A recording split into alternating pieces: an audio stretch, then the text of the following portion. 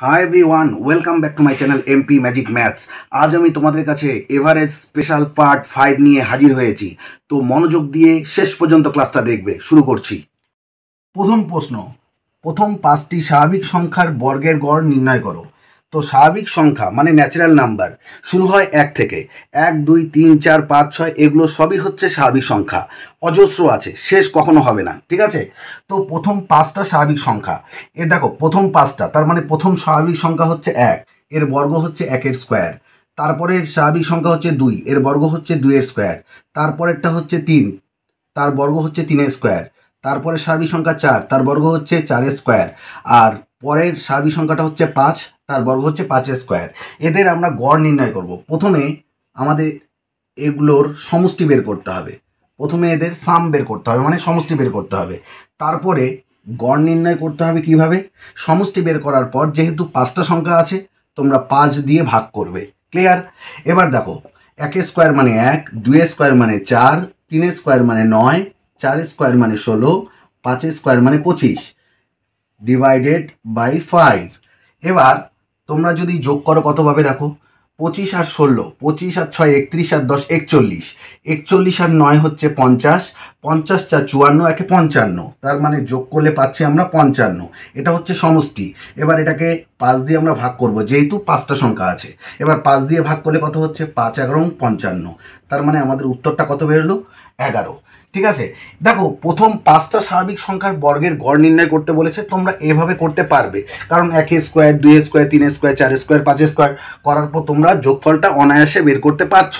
কিন্তু যদি বলতো প্রথম বিশটি বা প্রথম পঁচিশটি স্বাভাবিক সংখ্যার বর্গের গড় নির্ণয় করো। তোমরা কি এভাবে করতে পারতে? আর যদিও করতে পারতে, তাহলেও কিন্তু তোমাদের অনেকটা সময় লেগে যেত।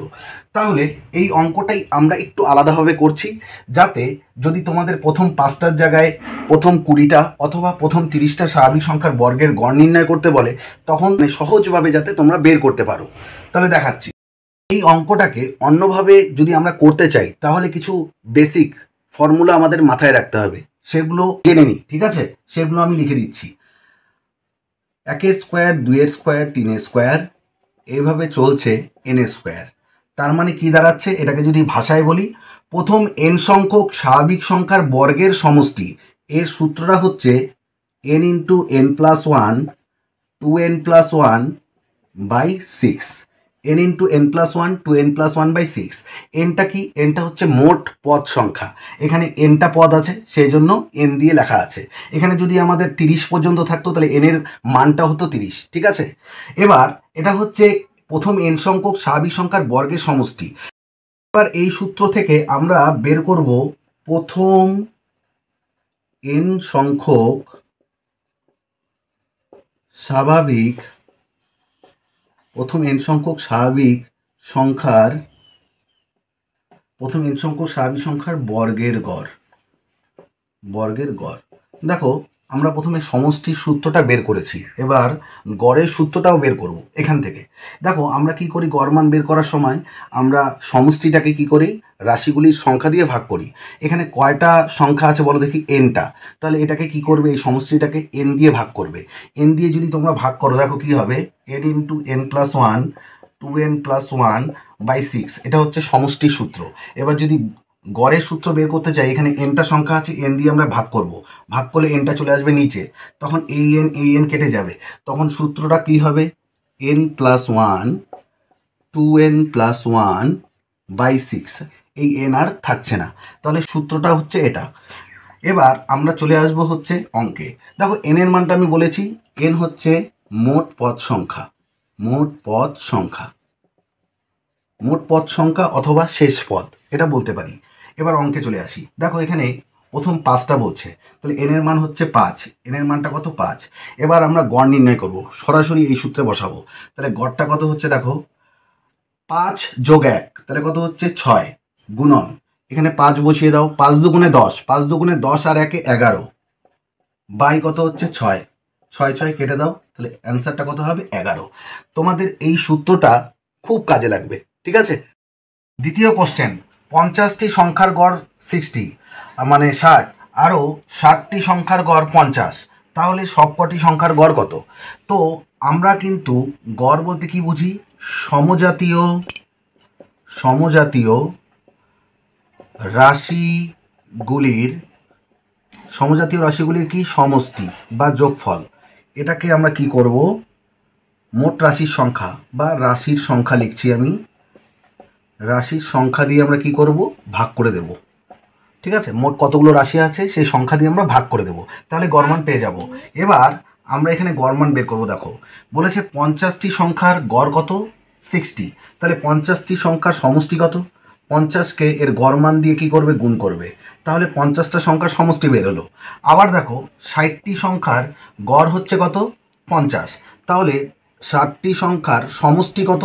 তাহলে পঞ্চাশ দিয়ে কি করবে এটাকে? গুণ করবে। হলো, এটা হচ্ছে পঞ্চাশটি সংখ্যার সমষ্টি আর এটা হচ্ছে ষাটটি সংখ্যার সমষ্টি। এবার মোট যদি সমষ্টি বের করি, তাহলে কী হবে? মাঝখানে যোগ হবে। এবার মোট কতগুলো সংখ্যা আছে দেখো? এখানে পঞ্চাশটা সংখ্যা আছে, পঞ্চাশ যোগ, এখানে ষাটটি সংখ্যা আছে, ষাট। দুটো যোগ করে দাও, তাহলে মোট সংখ্যাটা বেরিয়ে যাবে। তাহলে দেখো, মোট একশো দশটি সংখ্যার সমষ্টিটা উপরে বেরিয়ে গেছে, আর মোট হচ্ছে একশো দশটা সংখ্যা আছে, সেই কারণে দেখো পঞ্চাশ আর ষাট যোগ করলে একশো দশ হচ্ছে, একশো দশ দিয়ে তোমাকে কী করতে হবে? ভাগ করতে হবে। এবার আমরা যদি সমষ্টিটা বের করি, পঞ্চাশটা সংখ্যার, কত হচ্ছে দেখো? পাঁচ ছয় তিরিশ, তার সাথে আরও দুটো শূন্য প্লাস এবার এটাকে গুণ করো দেখো, পাঁচ ছয় তিরিশ, দুটো শূন্য, আর নিচে এই দুটোকে যোগ করলে মোট কয়টা সংখ্যা হচ্ছে? একশো দশ। যোগ করে দেখো একশো দশ হবে। এবার তিন হাজার তিন হাজার যোগ করলে কত হচ্ছে? ছয় হাজার আর নিচে কত হচ্ছে? একশো দশ। একটা শূন্য একটা শূন্য কেটে দাও। তার মানে কত দাঁড়াচ্ছে দেখো? কত দাঁড়াচ্ছে? ছশো বাই এগারো। এবার তোমরা কি করবে? এটাকে ভাগ করে দেবে। ভাগ করো। পাঁচ এগারো কত হচ্ছে? পঞ্চান্ন। পাঁচ এগারো পঞ্চান্ন থাকছে পাঁচ। শূন্য কেটে নিয়ে আসো। এবার কতবার দেবে? চার এগারো চুয়াল্লিশ। তাহলে চারবার দিচ্ছি। চার এগারো চুয়াল্লিশ। রইল কত বিয়োগ করলে? ছয়। এই ছয়টা চলে আসবে উপরে। আর এই এগারোটা চলে আসবে নিচে। তাহলে নির্ণয় গড়টা কত হচ্ছে দেখো? চুয়ান্ন পূর্ণ ছয় বাই এগারো। থার্ড কোশ্চেন উনিশটি সংখ্যার গড় আট। প্রথম নয়টি সংখ্যার গড় সিক্স পয়েন্ট ফাইভ এবং শেষ নয়টি সংখ্যার গড় এইট পয়েন্ট ফাইভ হলে মাঝের সংখ্যাটি কত? দেখো টোটাল উনিশটা সংখ্যা আছে, তার গড় দেওয়া আছে আট। তাহলে উনিশটা সংখ্যার গড় যদি আট হয়, তাহলে উনিশটা সংখ্যার সমষ্টি কত? উনিশকে আট দিয়ে গুণ করে দাও, কারণ গড় মানটা দেওয়া আছে আট, তাহলে আট দিয়ে গুণ করে দিই। আট নং বাহাত্তর, দুই হাতে হলো কত? সাত, আট অক্ষে আট, সাত কত হচ্ছে? পনেরো। তাহলে এটা হচ্ছে উনিশটা সংখ্যার যোগফল বা সমষ্টি। এবার বলছে প্রথম নয়টি সংখ্যার গড় এত। তাহলে প্রথম নয়টি সংখ্যার সমষ্টি কত? নয় দিয়ে গুণ করো। তাহলে প্রথম নয়টি সংখ্যার সমষ্টি বেরোবে পাঁচ নং পঁয়তাল্লিশ, পাঁচ, চার রইল। ছয় নং চুয়ান্ন চুয়ান্ন আর চার হচ্ছে আটান্ন। এক ঘর পর আছে এখানে, এক ঘর পর বসিয়ে দাও। এটা হচ্ছে প্রথম নয়টি সংখ্যার সমষ্টি। এবার শেষ নয়টি সংখ্যার গড় এটা দেওয়া আছে। তাহলে শেষ নয়টা সংখ্যার সমষ্টি বের করব, এটাকে নয় দিয়ে গুণ করব। শেষ নয়টা সংখ্যার সমষ্টি হচ্ছে পাঁচ নং, কত হচ্ছে? পাঁচ নং পঁয়তাল্লিশ। পাঁচ হাত হলো চার। আট নং বাহাত্তর। বাহাত্তর আর চার হচ্ছে ছিয়াত্তর। এখানে এক ঘর পর আছে, এক ঘর পর।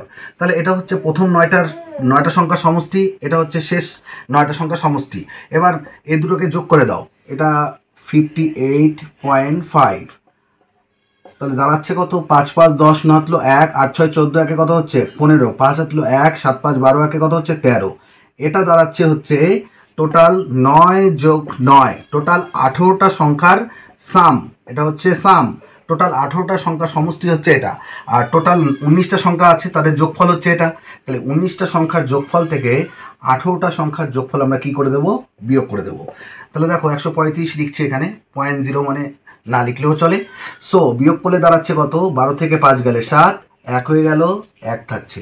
তার মানে হচ্ছে যে মাঝের সংখ্যাটা আছে, সেই মাঝের সংখ্যাটা হচ্ছে সতেরো। ঠিক আছে? যদি তোমরা এই ভিডিওটা দেখে উপকৃত হয়ে থাকো, তাহলে অবশ্যই লাইক কমেন্ট এবং শেয়ার করবে।